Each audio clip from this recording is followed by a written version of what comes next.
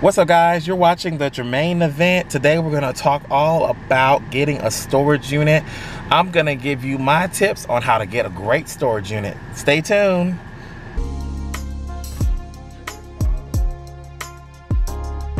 So I'm about to head on to my storage unit and I'm super excited. Um, this is my first storage unit I've had in a while but I wanted to show you guys my tricks because I got this storage unit at a really good price. Now, um, I, if you've never had a storage unit before, you definitely reached the right video. I'm going to tell you my ways of how I find a good storage unit, okay?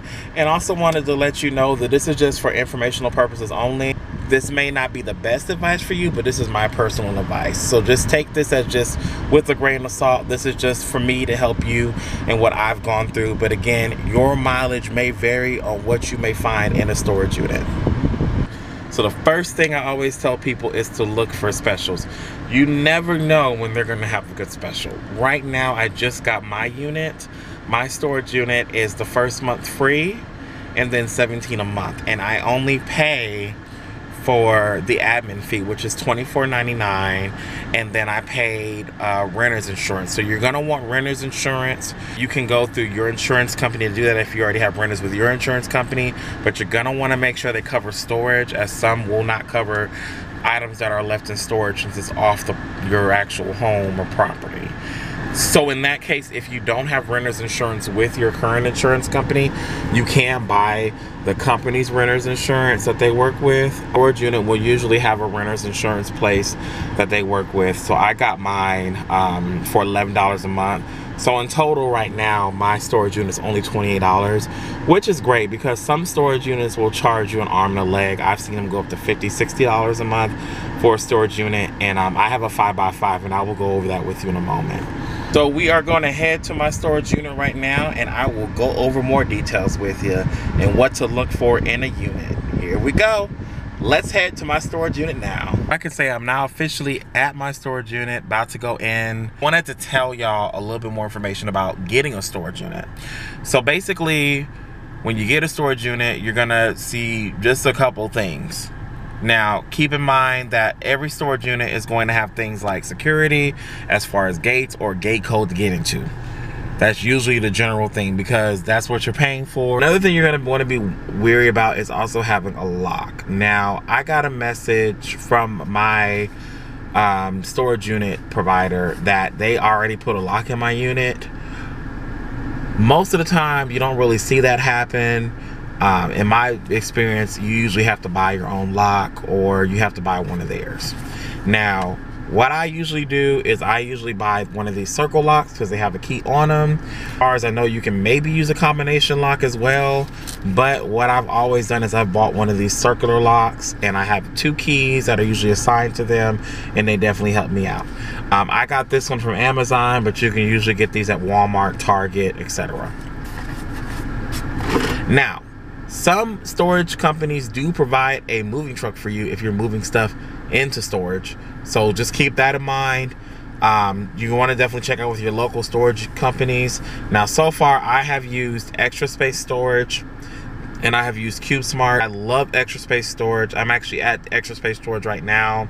It is in a very convenient and a very safe, quiet area but you always want to make sure especially if you're loading stuff in at night late at night you always want to make sure that you are being careful especially with corona. You want to make sure that you're sanitizing yourself. You want to make sure that your stuff is protected and it's locked because you don't know who could be coming in and out of the storage unit. You don't know what kind of stuff they may have. Um, you want to make sure that you don't have bugs coming into your storage unit. So you want to make sure that you're doing all that to make sure you keep your items safe because that is why they want you to have the renter's insurance because the renter's insurance is going to cover anything that is stolen out of your unit. Usually they're going to charge you a monthly fee as far as costs go. So the cost is depending on how big your unit is. Now I got lucky enough and Extra Space is probably one of the more reasonably priced storage units. My storage unit is only $17 a month plus the renter's insurance. So you want to keep that in mind. One thing you also notice is that most storage companies will provide you dollies, so that way you can put stuff into your unit. And this unit that I'm at right now is not an outside unit. Um, what mean what that means is it doesn't have outside lots. Everything is going to be inside of a building, and it is a huge building. So that's a good thing about that too. You also want to make sure that your staff is available to talk to. So you want to make sure that you do have access to speak to someone that is in the office to help you because you never know what may happen. You may forget your gate code. You may not have access to get in.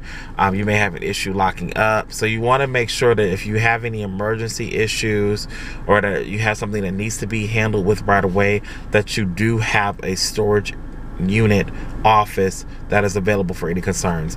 Now, my local storage unit here at the Extra Space Storage has been awesome.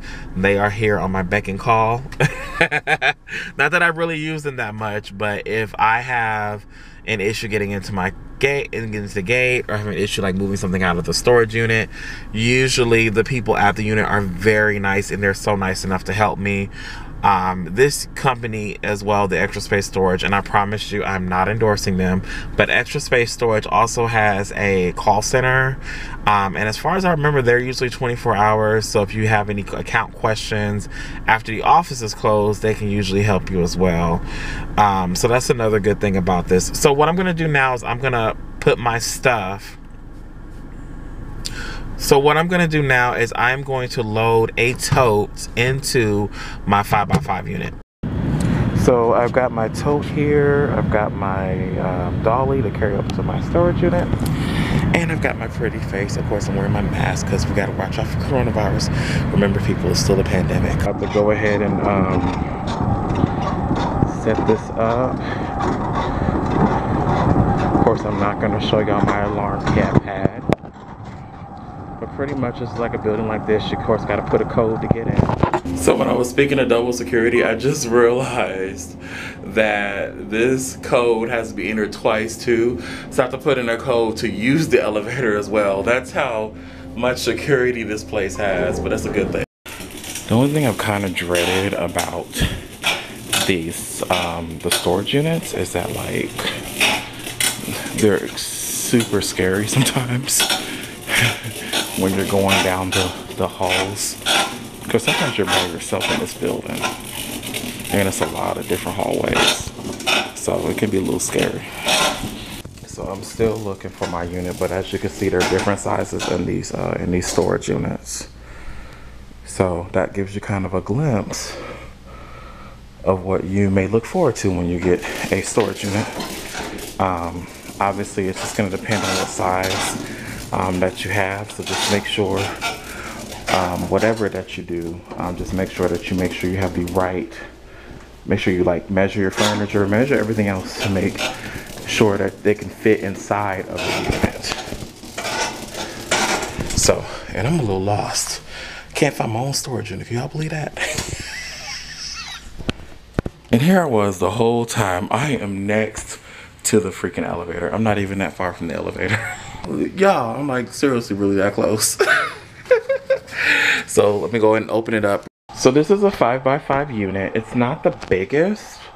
Um, the best way you can compare it is to like a walk-in closet. There is room to put tall things in though.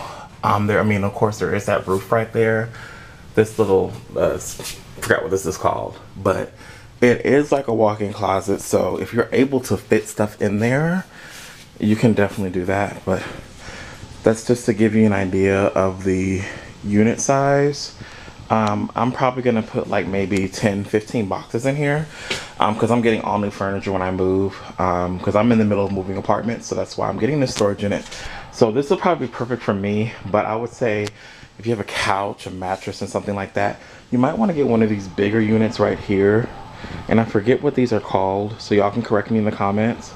But you always want to get a bigger unit. Just definitely just remember if you're getting a 5 by 5 it's only gonna be like a walk-in closet size. So extra space storage did not leave me a storage lock like they said they would. So we're gonna do plan B which I'm glad I brought this lock.